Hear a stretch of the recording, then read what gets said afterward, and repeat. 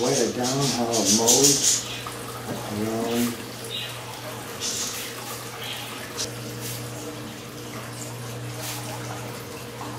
see how realistic that's becoming now? You can see his skin through there.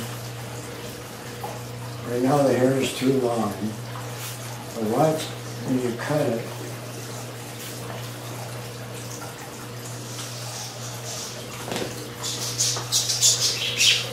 See how long these hairs are here?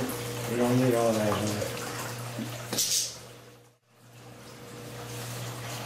Now I treat it like it's his own hair drawn out of his head. If this was his own hair, here's how I would cut it.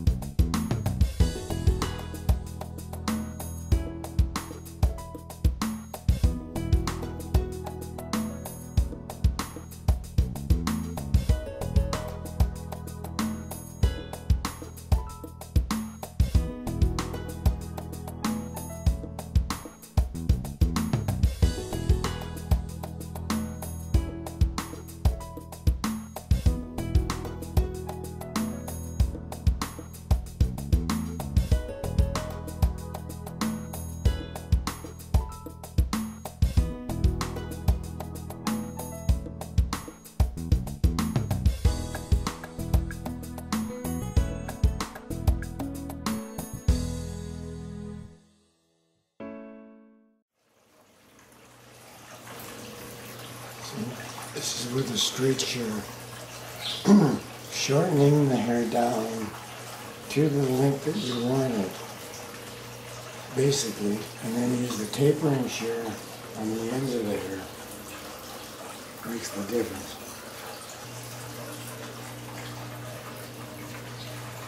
See that? This is a cutting technique that most barbers don't know how to do. You see how that blends in?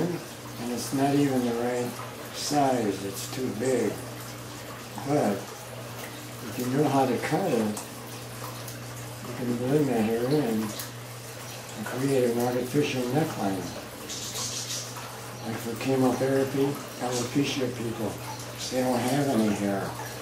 I could make this piece just like this chemotherapy, alopecia people, and they don't even need any hair down there. The piece is, is the hair.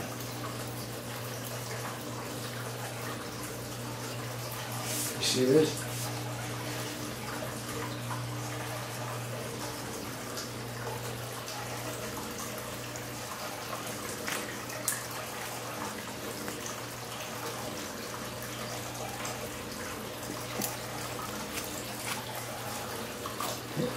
Here's balding area. This piece is too big. It should end right there. I can cut it there and cut it in again and even blend in better. But by leaving it longer, like chemotherapy alopecia people who don't have any hair through here, you extend that down around the ears, the nape of the neck, fits like a glove. I can create a neckline just like that.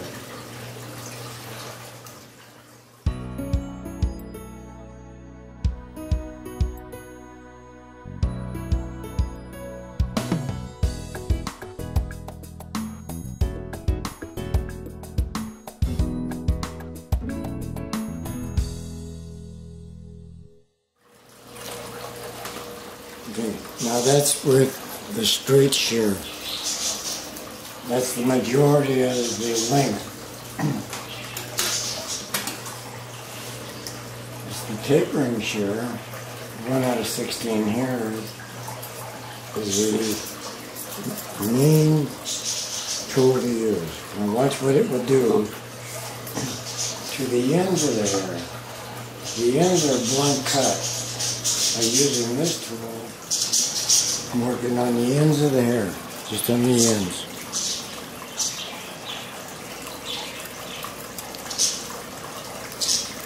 And I go straight back.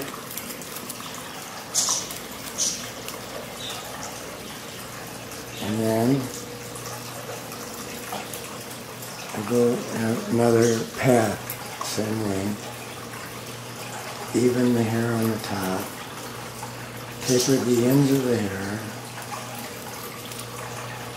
By doing that, any direction you comb the hair, whether it's down, this way, that way, or that way, the hair will blend. It meshes together like this.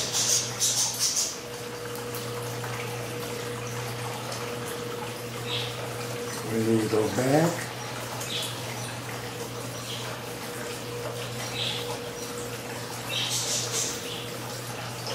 forward, this way or that way, or the wind blows it and it goes everything. That is the way natural hair would lay. And it's a matter of just styling it the way you want, whatever you feel comfortable. There is no right way, one way. There's many ways.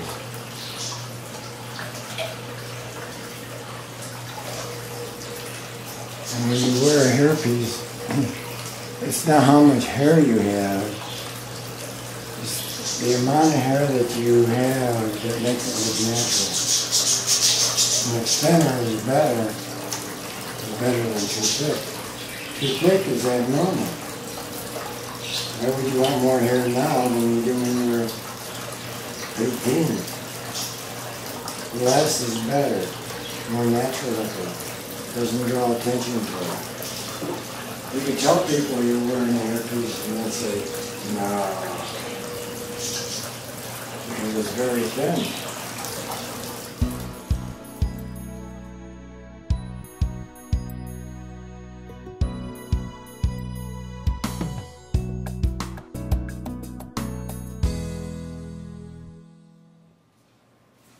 Now here's the razor cutting part. Here's the way we use this.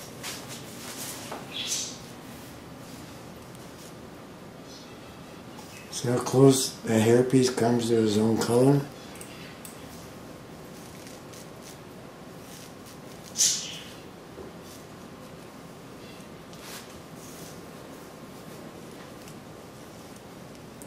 This is called razor cutting the way we did it in the 60s.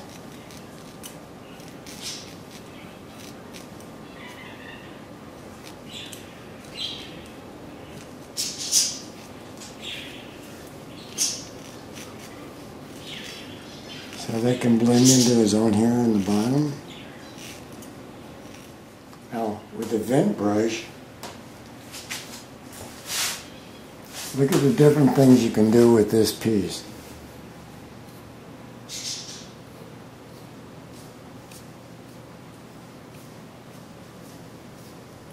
If you didn't do nothing more than that, and then go like this, you see that? Wave pattern that comes in. It looks like he come out of the shower, towel dried his hair, and went like this. It's a simple, easy to take care of. See? And this piece is not made for him, but you see how that blends in? If it's cut right, it'll fall right. And all you got to do is take his hands and go a little bit like this. Kind of play with it. Hair doesn't do one thing, hair does many things. All you got to do is keep it loose, irregular. unstyled looking. Nobody could tell you're wearing a piece thing because it's natural. It's when they look too neat, too perfect, too styled. Yeah, it's gonna look like a hairpiece. Now he could walk out just like that. Let the wind blow it around. And, and five minutes later, maybe take the brush and go like this. And change his look. Or he may want to wet it down.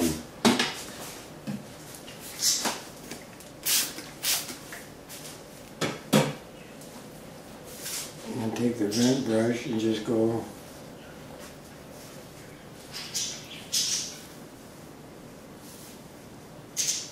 maybe a pompadour. Go straight back. And then loosen the front up. Just tousle it. Loose and irregular. Unstyled look.